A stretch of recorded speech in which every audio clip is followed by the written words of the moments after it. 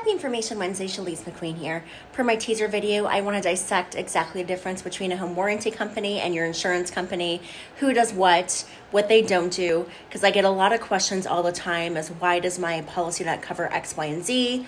Or why did my warranty not cover X, Y, and Z?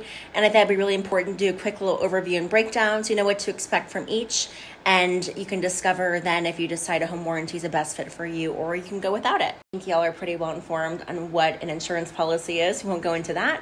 But what does a home warranty do? Well, it does act in essence almost like an insurance policy, except for legally it's definitely not insurance.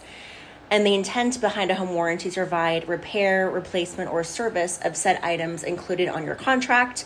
Just like anything else, the contract varies depending on which service provider you're using and, of course, which plan that you have selected. Uh, some appliances may or may not be included your pool equipment may or may not be included, things like that. But as a rule of thumb, the home warranty really does encompass anything inside your home, including any major built in components like HVAC, electrical, plumbing, etc., and of course, as appliances. So, who benefits from an, a home warranty company or home warranty policy? Well, someone that doesn't maybe have the reserves on hand to fix items like an HVAC system um, also, people that have patience, because let me tell you, I have a very much love more hate relationship with home warranty companies.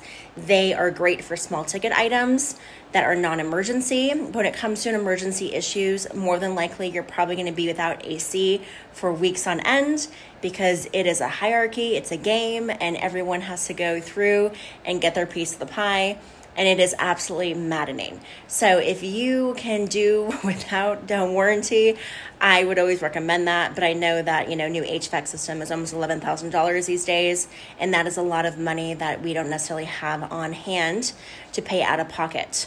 But just know once again that home warranty companies definitely do not cover everything no, it they are very strict to their contract. Just like as I was saying, the policy very much is restrictive to what is included on that policy. Um, in the event that you had a appliance malfunction and there is any secondary damage, such as water, that would not be covered under the home warranty. I've had many hot water tanks blow in my in my past, and the water damage that happens from that event never is covered. So drywall replacement, any kind of dry out, things like that, flooring is definitely not covered by your home warranty and that and that and that is where your insurance company would kick in. But again you have that thing called the deductible and your deductible does not always make sense to file a claim depending on what the level is and what you're in essence saving out of pocket.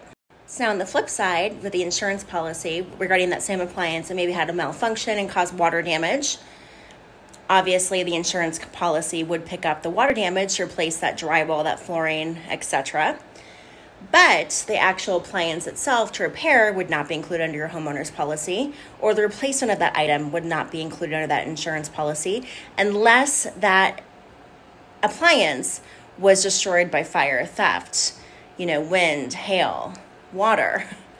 So unless it falls under those perils or listed on your homeowner's policy, you're not going to have coverage to replace that said item. Once again, your deductible does apply. So that's where the home warranty and the insurance company really differ. The biggest thing really is when it comes to plumbing. Um, we have plumbing issues all the time in our homes. You know, pipes burst in the walls, slab leaks, all of those things. Which again, the actual damage of said event is definitely taken care of by your insurance policy, but the replacement or repair of that actual as I was saying, the actual repair or replacement of the plumbing itself does not have any coverage under your insurance policy. There are endorsements you can add that will provide a small allowance to help with those items, but for the most part, it really is cut and dry. There's no coverage for it. So that's where your insurance company and your home warranty company would work hand in hand. As I said earlier, I have lots of experience with home warranty companies. I know them and how they operate like the back of my hand and I have a love hate hate relationship with them. Like I said, they definitely have a time and place um, and value, but they you have to be patient and you have to understand the game that is played with these home warranty companies. Um, I do offer home warranty through American Home Shield. They probably are, they're a little bit on the higher end when it comes to warranty contracts, but they are going to be the most responsive, have the most service providers, and of course, their contracts cover a lot more than even a standard contract or a premium contract with other companies. So I definitely recommend over them over everybody else. But again, it all depends on what makes sense for you. But it's a great time to have a conversation with your insurance agent and talk about some of the endorsements that you may be missing on your homeowner's policy that will help out, such as equipment breakdown, service line, limited plumbing, service or sewer and drain, etc. So again, I'm here to be a resource for you. Feel free to give me a call at 602-525-5665 or email me at cmcqueen at farmersagent.com.